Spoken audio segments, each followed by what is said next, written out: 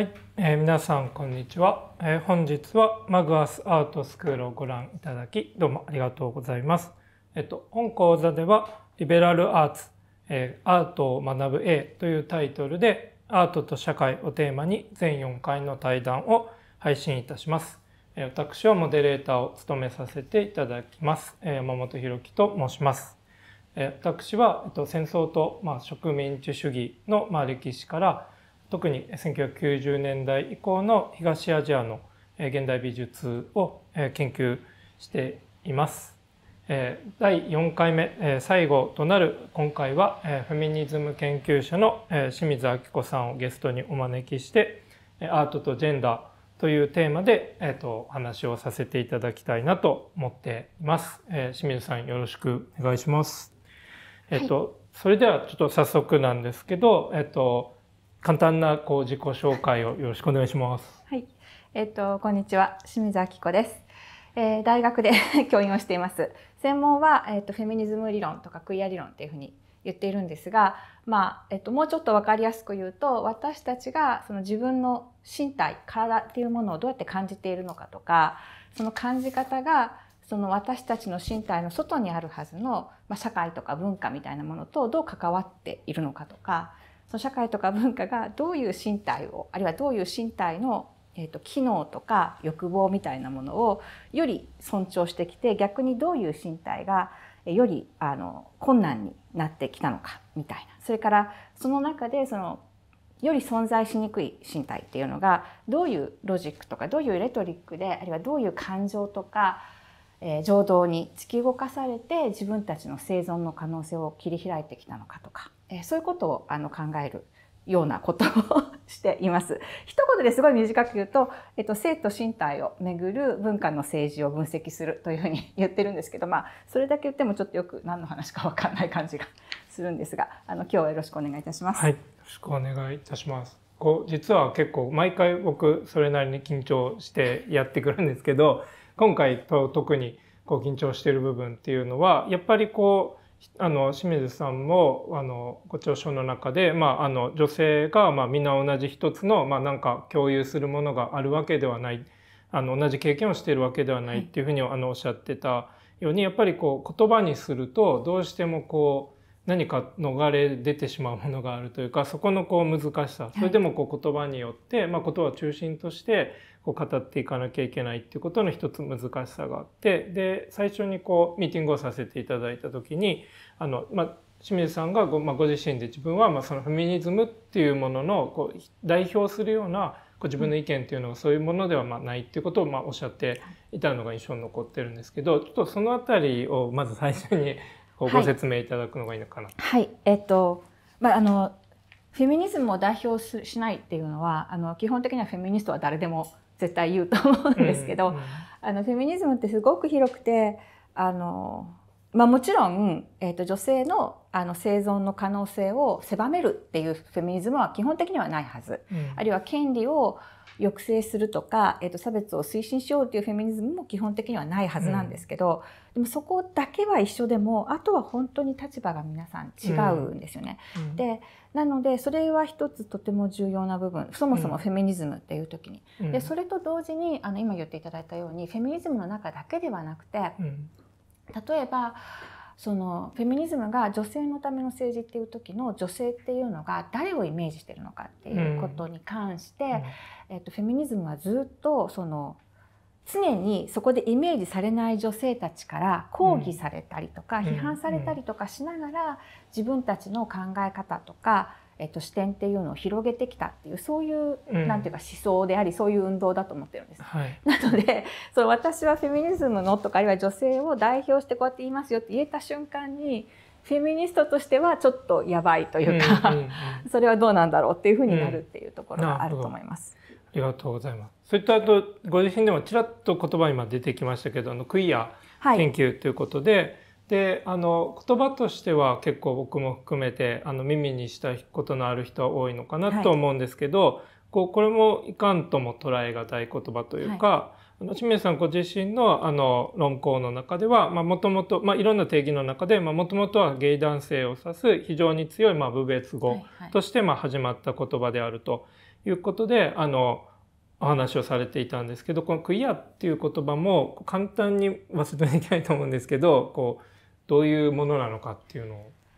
はい、まあ、クイアっていう言葉も使われ方がすごく変わってくるので、はい、あのこれですっていうのは難しいところはあるんですが私はよく学生さんとかにはあの私はクイア原理主義だからって言うんですけど、はい、そのクイアっていう言葉が、えっと、文化とかあるいはその、えっと、学問の主流の場で使われるようになるのは、まあえっと、90年1990年前後ぐらいでうん、でその時のクイア。っていうのは今おっしゃったようにそのその前のクイアもともとその非常に強い部別語だったものっていうのを、うん、あの80年代のなをを通じて例えばあの特にあの欧米というか英米の諸国では、うん、あのエイズ化というのがあって、はい、でそこであの、まあ、HIV エイズの流行っていうのでえーとまあ、とりわけ男性同性愛者のコミュニティっていうのが非常に大きな打撃を受ける、うん、まあ、あと,、えーと、トランスセクションのコミュニティですね、うん、あの非常に大きな打撃を受ける。で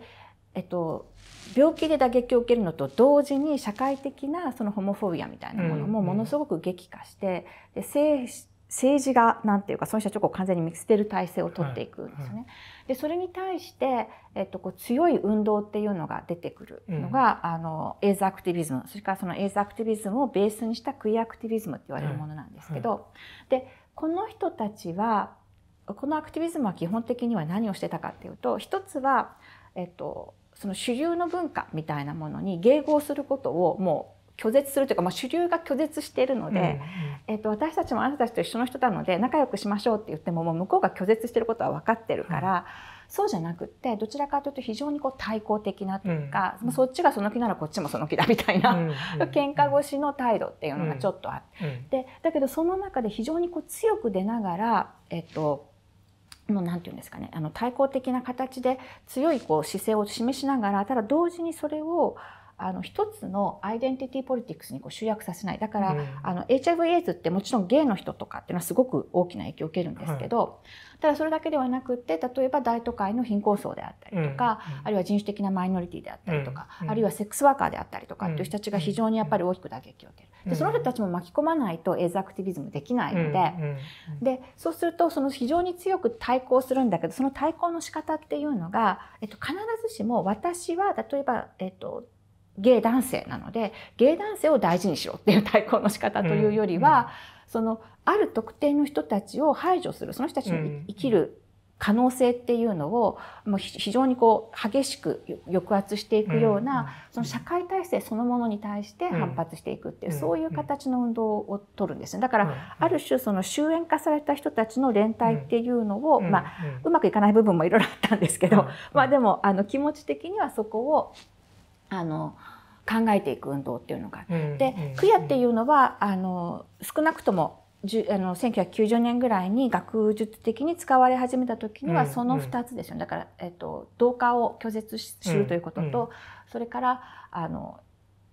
終焉的なその、えっと、私はこうですっていうそのアイデンティティに基づいた主張というよりは権力との関係におけるその中心性と終焉性っていうものをベースにした政治の立て方をする。それからもう一つはそのこれはアートの中では多分よく出てくると思うんですけど、もう一つあの出てくるのはクヤの時あのクヤの運動っていうのは、えっと、そもそもあった、えっと、記号とかイメージっていうのをどういうふうにあのリアプロプリエーションっていう言い方をしますけど、うんうん、どういうふうに再投与していくのかっていうことがとても重要になる。だからあのそもそもクイアっていうその非常に部別語だった強い部別語だったことを自分たちの言葉としてこう使うことによって、えっと、言葉のそのなんていうか音は変えないんだけれども、うん、意味合いを完全に変えてしまうとか、うん、そういうのがまあ運動の中でもある。でこれあのクイアムーブメントっていうのはあのいろんなアーティストの人たちも、うん、あの巻き込みながら行われていくのででその中では例えばすごく商業的なイメージとかを流用しながらそれを、なんていうか同性愛的なものにしたりとかトランス的なものにしたりとかっていうのもあって、そういうある種の記号の、まあ、流用だったりとか、あるいはその意味の変容みたいなところに、一つの可能性を見ていくっていうのも、まあ、あのアカデミックにもあの学術的にもクイアっていうのの一つの大きな特徴になっていくっていう、うん、そこら辺ですかね。分かりにくいですけど。そうするとこうクイアって言った時にやっぱりこう例えばまあホモセクシュアルの人たちの,、まあ、あのムーブメントっていうようなまあイメージがまあ先行しがちなんだけどもちろんまあその人たちも入っているけどこうメインストリームからある種こう存在しないものとされているというか、あのその存在自体をこうきちんとあの認識されなかったり、まあ、認められてない人たちが、まあ、あの対抗的な仕方でこう自分たちの存在をあの世の中に出していくみたいな捉え方。そうですね。はい。そういう側面があったなと思います。うん、そこもちょっと難しくて、はい、あのだけれども同性愛の運動ではないっていうと多分違うんですけど、うんうん、そこは常にこう両両面を持ってるというか、あの同性愛者の運動だよねって言われたら同性愛者のだけの運動ではないって言いつつ、うん、じゃあ同性愛者の運動じゃないよねって言われたらいや同性愛者の運動だっていうみたいな、うん、そういうところがクエアムーブメントにはあるんですけど、はい。結構あの先ほどおっしゃったようにその記号みたいなものもともとそのクイアっていうものが、まあ、そのあの中心のまあ人たちからある種のこう部別語として投げつけられたものを自分たちで一旦受け止めたものを別の意味にアプロプリエイトしてこうそれを転用して使うみたいな、やっぱり結構芸術っていうのはなんかそういう既存の記号を配置を変えたり、まあ、別の見せ方をして、あの意味を転倒させてしまうとか結構そういう意味でなんか実は前回社会運動ということであの社会学者の富永京子さんと話した時に、あのアクトアップの話とかあのアクトアップとまあ関わりのあったあのフェリックス・ゴンザレス・トレスのご自身も、あのゲイで恋人をあのエイズで亡くしている、あのまあ、ご自身もゲイで亡くなったあの彼の作品とかをまあ使ったんですけど、その辺のこう芸術ともやっぱり関わりのあるあの運動っていう。そうですね、まあ、あのゴンザレス・トレスとかはもうある種アイコン的な、うん、存在なのでそうそうですね。まさにそうだと思います。うん、でもう一つまだこう前提というか難しい部分があってこれは結構さっきの、えっと、女性っていうものを、うん、ユニバーサルなまあ女性みたいなことを誰かが発した時にそこに含まれている人と含まれてない人みたいなことにちょっと関わると思うんですけど結構現代美術の中でもよく最近出てくる言葉にあのインターセクショナリティっていう言葉があって、あのキンバリー・クレイショーとか、はい、まあ、あのクレイショーがあのやっぱ交差点の比喩を使って、はい。まあ、いろんなところから、まあ、差別とか偏見とか、まあ、流れていてそれが結構複合しているみたいな最初に交差点の比喩を持ってきて。で清水さんあのご著書の中でも、まあ、それ分かるけどなんか多分この比喩がちょっとあの誤解を生んでる部分もあるっておっしゃってたと思うんですけど、結構奥の理解とか、まあ、一般的な理解だとこうある種のベン図じゃないけどこう丸がいくつかあってここになんかあの集合法みたいな重なっている、まあ、その性のの差別あの民族のとかあの階級のとかいろんな重なり合ってるこの辺っていう感じのイメージなんですけど。はいはい清水さんのまあ論考の中ではむしろ焦点をこう絞っていくっていうよりかはその焦点をもう一度絞り直してこう広げていくみたいなところがあるというふうに。で清水さんのこうインターセクショナリティの捉え方っていうかその辺っていうのをちょっとご説明いただける？はい、えっとあのおっしゃった通りそのインターセクショナリティっていうのは、まあ、あのキンバリ・クレーショーがクレーションがっていうのも、まあ、いろんな人がいるので、クレーションがって言い切っていいかどうかちょっと微妙なんですけど、まあでも、あの、言い始めたと言われていて、ただ、うん、あの、発想自体は、ブラック、アメリカのブラックフェミニズムの中にずっとあって、はい。はい、あの、例えばとても、あの、いくつか有名な、あの、なんていうか宣言があったりとか、あの、ある、あの、するんですけれども、だからその新しく出てきた発想ではない。うん、で、じゃあどういう発想なのかって言った時にそのブラックフェミニズムの中から出てきた発想って、えっと、基本的にその黒人女性の経験っていうのは黒人の経験と女性の経験のその重なったところにあるわけでは必ずしもないっていうのがあるんですよね。つまり、